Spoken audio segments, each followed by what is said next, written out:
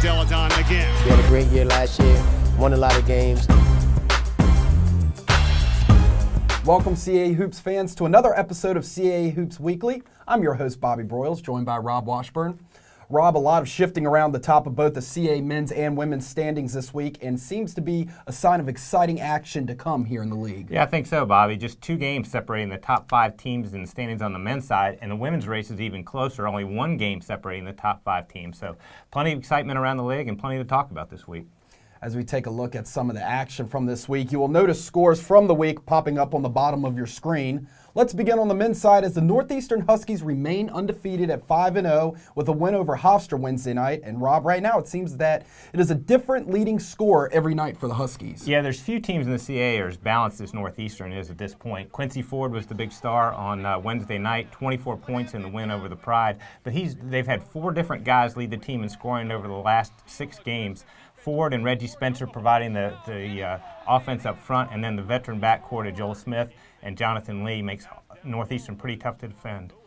The reason the Huskies are alone at the top of the standings is because of the outcome Wednesday night as Jerrelle Benimon once again leading the Towson Tigers to a road win over Delaware, giving the Blue Hens their first loss in conference play. Yeah, Towson trails in that game by six with a little under four minutes to go and rallies and picks up the win. It's their fourth straight win on the road, first time since 2005-6 that they've done that. And as you mentioned, Jerrelle Benimon is NCAA leading 12th double-double, 19 points and 13 rebounds in that game. And two remarkable statistics for you, Bobby. First, Delaware goes 0 for 8 from three point range in that game, ends a streak of 675 games that they made at least one three pointer.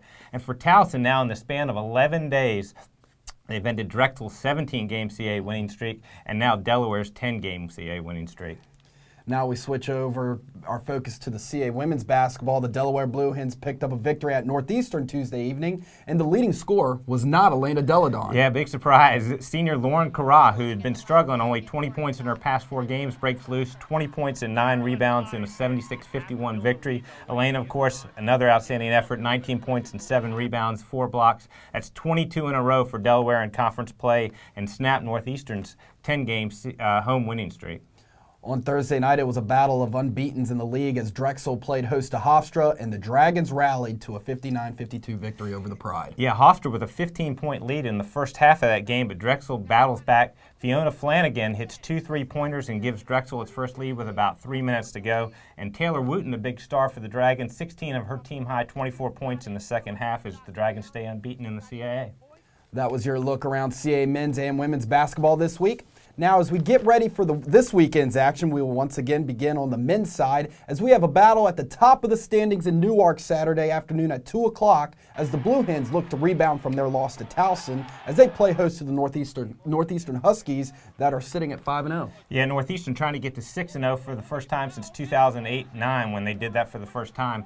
And it was we touched on a little bit last week. The Huskies have already posted road wins over Drexel, George Mason and Towson. So a chance with a road win at Delaware to put themselves in a pretty good position. Now for Delaware, they're trying to shake off that difficult loss at home to Towson on Wednesday, and a win over Northeastern on Saturday for them pulls them even, even in the loss column in the standings. So I'm really interested in this game to see the, the, the guard matchups, as we touched on earlier. Joel Smith and Jonathan Lee for uh, Northeastern going against Devon Saddler and Jarvis Threatt for Delaware should be quite a game. Then at 5 o'clock, it will be the Hofstra Pride hitting the road to take on the George Mason Patriots in front of a national audience on the NBC Sports Network. Yeah, George Mason's been nearly unbeatable at home in conference play over the past several years, and they're coming off a 68 57 win over rival James Madison on Tuesday. Junior Sherrod Wright with 23 points in that victory, and he's been uh, remarkable all season long, and lately, especially late. Seven times in the last nine games, he scored 20 or more points. Now for Hofstra, they struggled through the month of December, but they're now two and two in conference play. Gave Northeastern a good run on Wednesday night. For them, it's been the sophomore guard Taran Buie, the transfer from Penn State, who's been awful good offensively for them, has hit double figures in 11 of his last 12 games. And one other game that we probably want to keep an eye on on Saturday, it's Towson, who's 4 and 1 in second place in the league, playing host to James Madison, who's 3 and 2, and in a tie for third place. Uh, that game at noon on Saturday at Towson. Now here's a look at the rest of this weekend's action around CAA men's basketball.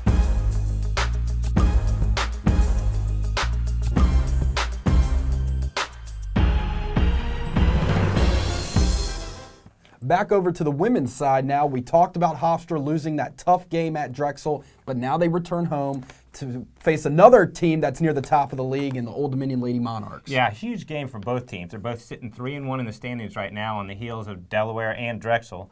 ODU coming off an impressive 74 to 50 win over UNCW on Thursday night, where they had six different players score seven or more points. The Monarchs are led by the inside outside duo of Jackie Cook and Shae Kelley. And as we mentioned earlier, Hofstra had its six game winning streak come to an end at Drexel, so they're going to be looking to bounce back at home. The Pride also has a formal inside out duo with the All American Shante Evans and their guard, Andriana Thomas, who's leading the league in assists. And in Atlanta, uh, Sharon Baldwin Tener has got her team off to a solid start with a 9 and 6 overall record. They get a good test Sunday as they play host to the JMU Dukes. Yeah, JMU improved to 3 and 1 in the CA on Thursday night after cruising past William and Mary 82 52. And the Dukes have been getting great play from their from backcourt. Tarik Hislop had 21 points in the victory over the Tribe. And of course, Kirby Burkholder, who's one of the league leaders in three pointers. For Georgia State, they're much improved over a year ago. Seven and three at home this season, and the Panthers are getting strong play from Kendra Long in the backcourt, and Cody Polk is one of the top inside players in the conference. Here's a quick look at the rest of the action happening around CAA women's basketball.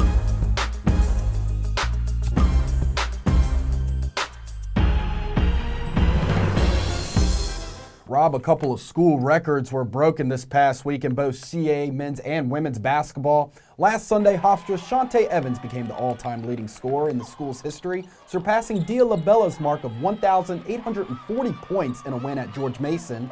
Then this past Wednesday night, Delaware's Jamelle Hagins became the program's all-time leading rebounder, surpassing Spencer Dunkley with 916 rebounds. Two outstanding accomplishments and two great players who uh, will be remembered at their schools for a long time, and I know uh, have their sights set on leading their teams to CA titles this season.